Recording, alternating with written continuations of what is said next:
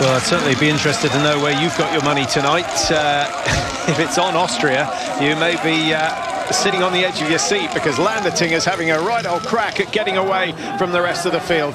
Christoph Sumann uh, on the last leg for Austria, and it looks as though he's going to be the first out of the stadium. Bit of a surprise for Sumann, back after a week off. Uh, didn't want to race in Oberhof because he's never had any good results there. He has done well here in Ruhpolding, and he's one of those whose, whose ski speed generally is his trump card.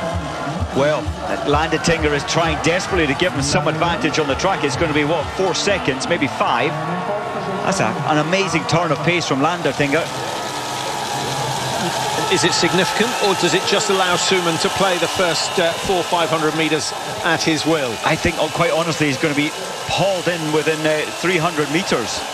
Yeah, highly likely, but uh, you can't take anything away from Landertinger. He's uh, done an impressive job here tonight. Now it's the veteran in the Austrian team who takes the reins. He leads the way. 54.49, the uh, leading time at the moment. Remember the winning time last year, 117.26. And that, of course, was the World Championship uh, relay that Norway claimed the title in.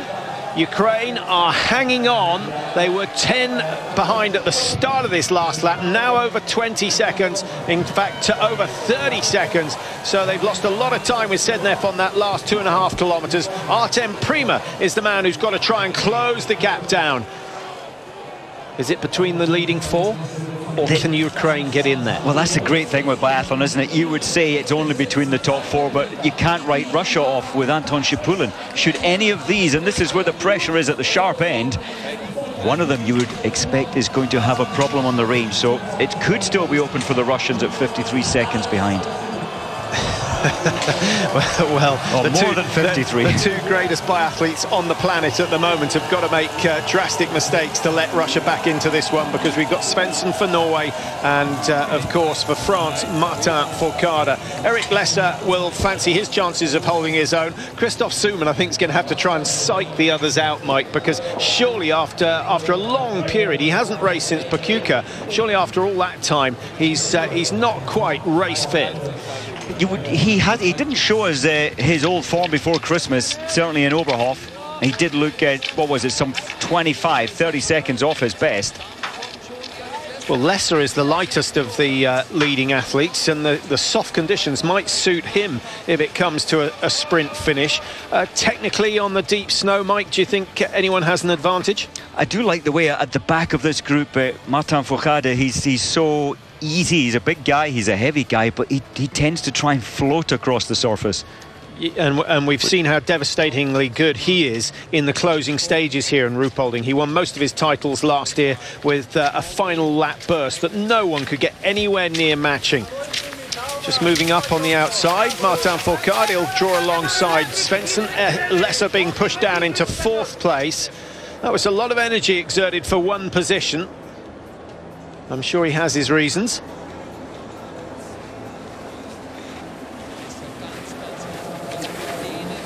Sweden, of course, uh, dropped down there with Ericsson trying to stay with the pace and, and struggling a little on the range.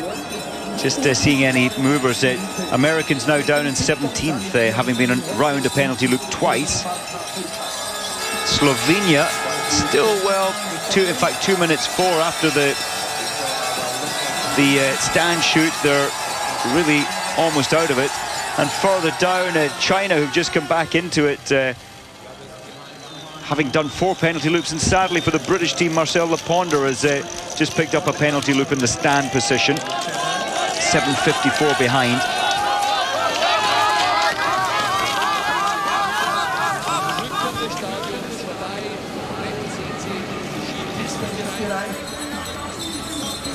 Ukraine, well, it was 31 seconds behind.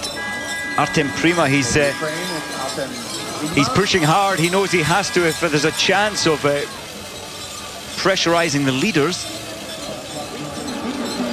But he's not making an impression at the moment. Was 31.4. He must have lost, what, two or three seconds? Oh, 33.6, so yeah, two seconds. And a lonely race there.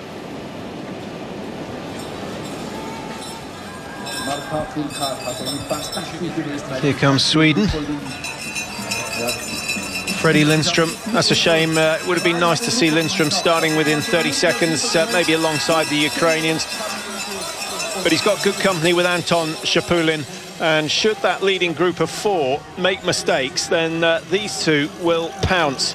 What's, what's uh, surprising me, Lindstrom started seven seconds behind Shipulin. He's caught him so quickly, and in fact Shipulin being dragged on. I wonder if the Russians have maybe made some little mistake in the waxing today. Well, Fourcade's got his power back, that's for sure. I'm, I'm absolutely convinced the Russians have made uh, a mistake. It could be it could be the wax mic, it could be the base they've selected. Um, maybe, maybe they weren't predicting this snowfall to start so early. Uh, I can tell you that snow's due to fall for the next four days. By the time we finish here on Sunday evening, there could be another metre or two of fresh snow around, which uh, is great news for the tourist board, not quite such good news for the guys who have to spend all night long preparing the tracks. Oh, that's good news, and, and great news as well. This is the venue that the British and the British Army Championships come to in what, just two weeks' time. Mark Goodson organises that. Well, the last leg, and uh, we're coming in for the prone shoot with the three leaders absolutely side by side. Austria, France and Norway and Germany spinning out. A man who should know these tracks better than that, Erik Lesser. Well, he's not lost a lot of time. It was a quick recovery from Lesser. And I just wonder how that's going to push the pulse up. He needs to calm it, just uh, ignore the fact that he's taken a tumble difficult, isn't it? The frustration, eh, as you say, 40,000 people watching him come down that hill. Yeah, will, will Lesser be... get the targets? There's going to be a big cheer if he does. He's very good. He doesn't often get put off, but that surely is going to make a slight difference. I would say, what, one spare?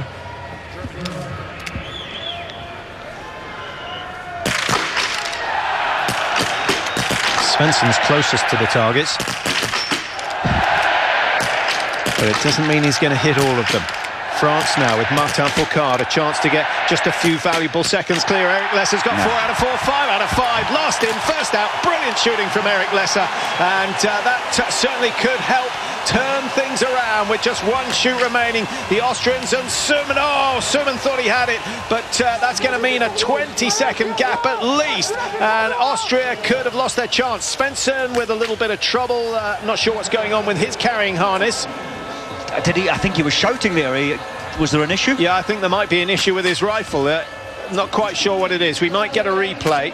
Look at this. If out of all of these uh, athletes in this front group, you would never say that Sumann would miss on the prone. He was last season 96% hit rate. Well, that's uh, bad news for Austria, but they still have another chance because the last shoot still remains. Martin Fourcade leading the way out of the stadium. He's the man likely to set the pace on the penultimate lap. Germany surviving despite that fall from Erik Lesser. And Emil Hegle Svendsen with seemingly with a problem, but we're not sure what it is quite yet. Lima, he's almost moving his head off the rifle before he squeezes the trigger. The Ukrainian Anton Shipulin, one spare. Really Russia versus Sweden at this stage. The Ukrainians are away, but uh, they've lost uh, a lot of the advantage that they had over Russia and Sweden. So a good race going on for the minor places. And uh, as you can see, only, what is it, five or six seconds separating five, six and seven? Not even that, four. Now Sumann uh, at 18.9 seconds behind. He's on his own he's going to find that a tougher race than when he was skiing in the group. This is the sort of performance we expect from Martin Fourcade. It's been a good performance by the French. The two Fourcade brothers, Beatrix and Boeuf. Germany. Can't think of anyone in Germany who's slipped up so far.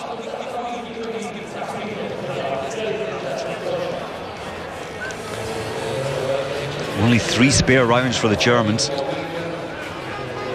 Yeah, that's a high standard. Germany and France, the same shooting scores at the moment. Norway with just five misses, but they're fast enough to make up for those sort of mistakes.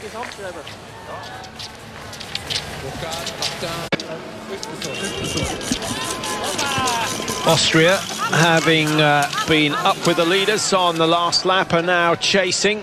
They've got Team 23, that's the Romanians, who've been lapped uh, at least once behind them. These are the three men who know that a perfect performance on the range for the last shoot could mean they take the top prize tonight. Sumann looks to be closing, Mike, from 18. He's certainly cut the gap to less than uh, less than 12 seconds. That's very impressive, eh? and he's uh, tucking in behind as well. I think Erik Lesser from that fall, it's a lesson to any up-and-coming athletes that you mustn't let anything put you off. To take a head plant into the snow, at home, just coming into the range, it normally tenses you up. You go into a panic state, but he kept calm and hit five out of five. Well, so what, he's, fast. what he's got to do is negotiate that turn twice. Uh, this uh, final, this penultimate time for the standing shoot, absolutely crucial. But if those three teams say lock side by side, that corner's going to be even harder to negotiate. Good fight between Ukraine, Russia and Sweden and an equally tight one between these three teams. Martin Fourcade now dictating the pace, and we see that traditional little dancing burst that he puts in. Uh, this style really started by uh, Raphael Poirée. Yes, it was, and Poirée's here. Uh, he's coaching the Belarus, and not many other athletes uh, adopt this little dancing move. It uses a, a lot of energy. Lesser just dropping off the pace by a couple of metres, but uh, maybe not too fast. I think that's the Romanian team there, so they're being lapped by uh, the Austrian team now. So here we go, the crucial turn. What line will Fourcade take? He stays tight. Svendsen tries to stay even tighter, and Erik Lesser drifts wide once again, but this time safely round. I think he was sensible on the top of the crest of that hill. He, he didn't go with it. He didn't want to push himself so hard over the top. So Lesser, for me, the intelligent entry into the range. Although Martin Fourcade never, ever even looks out of breath. He must be. Final shoot. The final shoot. And the fact that Germany are still in this one means we have more noise in the stadium than we had uh, in any stadium so far this year. Germany are going to be in lane number three. It's Martin Fourcade, I think the hot shot of this group uh, in lane one. Svendsen, former overall World Cup winner. Olympic champion, world champion, and then, of course, Christoph Sumann, who needs to make up for those misses in the prone. Sumann has skied so fast to get back up with the leaders. Svendsen's very slow to get the first shot away. Germany have cleared four already. France have cleared four, and they go down. The first 15 targets. No! Svendsen misses one, so he's going to have a chase on his hands. France are clear. Germany are clear, Austria are clear with Sumann, and Svendsen misses again, and that could be Norway's chance. The team that lead the World Cup standings in the relays. And if oh. Svendsen misses one more, he's on the penalty loop. He knows that better than anyone else, and he avoids it. But well, the damage surely is done. 15 seconds, two and a half kilometres to make it up. Oh, well, it needs to be the ski race of his life now if he wants to put Norway on the podium. Yeah. Throw, throwing the glasses off, yeah, that's extra weight. That's 50 grams gone. oh. Yeah, he's, he's going to give this one a go, Mike.